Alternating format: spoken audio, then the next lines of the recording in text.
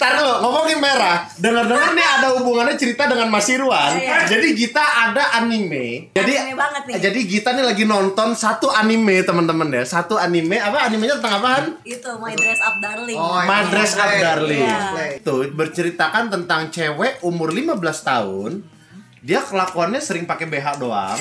Ya maksudnya yang ya kelakuannya gimana? berani orangnya Berani. gitu. Narik-narik cowoknya gitu Mas, tapi cowoknya yang baik-baik. Cowoknya anak baik gitu kan.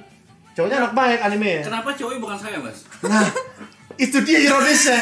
Jadi ada satu pos yang sangat ironis ya di sini saya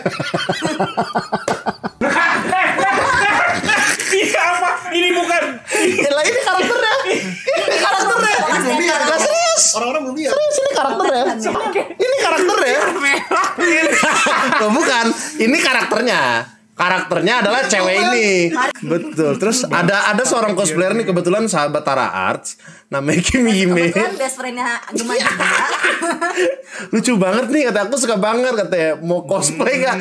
Ada seorang yang kita kenal cocok banget. Ayo pakai biar merah.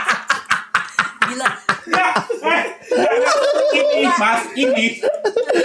Pasti Chris. Pasti. Wah. Wah. Emang bener Chris. Emang bener Chris.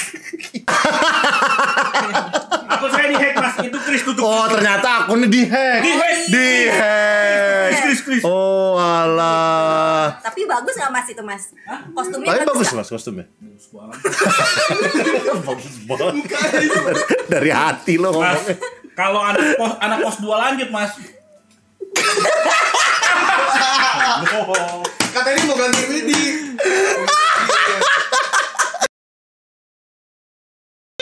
Wid, siapa Wid? Pacar gua lah. Kok Pak? eh, Kaki ini itu siapa kak? Mau ngapain, Wid? Wid, kamar mandi lah. Ayo. Eh, eh, Wak. Eh. Wak, kok?